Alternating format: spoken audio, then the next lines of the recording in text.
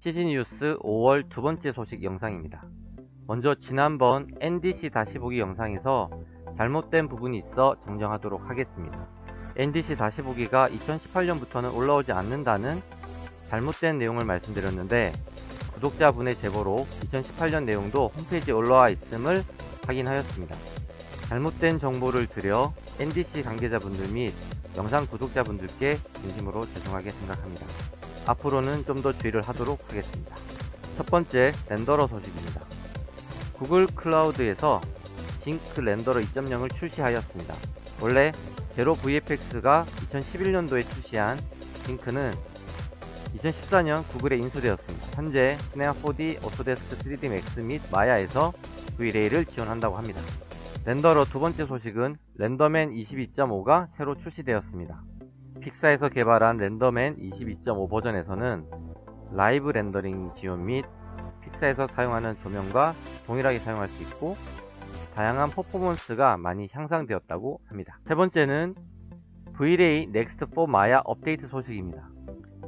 메모리 tracking을 이용하여 자세한 메모리 사용 리포트 확인이 가능해졌고 V-Ray proxy를 이용한 Cryptomatte 마스크 기능 지원, 빨라진 렌더링 속도, Maya와의 호환성 업데이트, 그리고 V-Ray GPU에서 AI 서페이스 쉐이더를 지원한다고 합니다.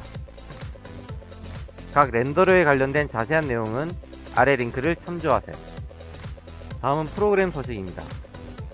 엔비디아에서 새로운 anti-aliasing 기술인 ATAA를 발표하였습니다. adaptive temporal anti-aliasing 줄여서 ATAA는 광선 추적으로 TAA temporal anti-aliasing을 확장한다고 합니다. 아래 링크에는 위 기사를 한글로 번역한 내용도 있으니 참고하시기 바랍니다. 다음은 지난번에 말씀드렸던 후디니 17.5 버전 동경 세미나 동영상이 올라왔습니다. 일본어로 되어 있지만 어, 영상 보시는 것만으로도 많은 도움이 될 거라 생각됩니다. 그리고 애니메이션 주먹왕 랄프 2편에서 후디니가 어떻게 사용되었는지에 대한 기사가 역시 올라왔습니다. 기사이기 때문에 번역을 해서 내용을 참고하실 수 있을 것 같고요. 다음은 마야 2019 신기능을 오토데스크 코리아 기술영업그룹 김도환 부장님이 설명해 주시는 영상이 올라왔습니다.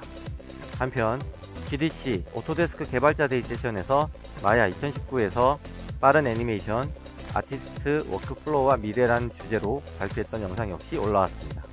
그리고 Substance Designer 2019 봄 업데이트 요약 내용이 Substance 네이버 카페에 올라왔습니다.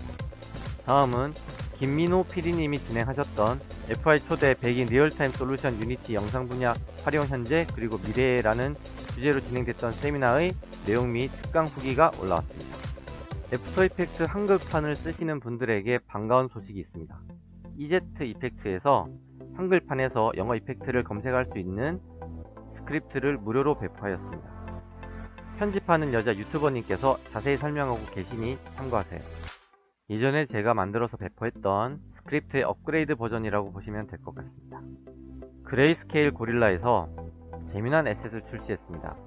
3D 더스트 파티큘레이트라는 이름의 이 asset은 20개의 3D dust Alembic 파일들로 drag drop으로 손쉽게 여러분의 프로젝트에 공간감과 depth를 추가할 수 있습니다. 지난번 FMX 2019 때 발표되었던 Cinema 4D 관련 영상들이 올라왔습니다. Cinema 4D 공부에 많은 도움이 되실 거예요. 다음은 세미나 소식입니다.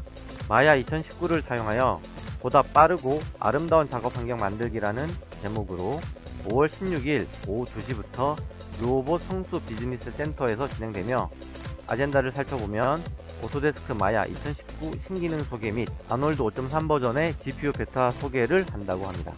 선물도 있다고 하니 많이들 참석하시고요.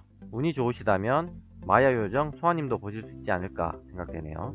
마지막으로 건강 관련 소식입니다. 수면 부족이 뇌에 영향을 미쳐 치매를 일으킬 수 있다는 기사 내용입니다. 영상을 보고 계시는 여러분들은 수면 부족은 없으신가요? 수면 부족이 대장암과도 연관이 있다는 기사를 예전에 본 적이 있는데 일도 좋지만 충분한 수면을 취하셔야 좋아하는 CG 일도 더 오래 하실 수 있지 않을까 생각됩니다. 여기까지 5월 두 번째 CG 뉴스 소식이었습니다. 구독과 좋아요는 CG 뉴스를 만드는 원동력입니다. 다음 뉴스로 찾아뵙겠습니다. 감사합니다.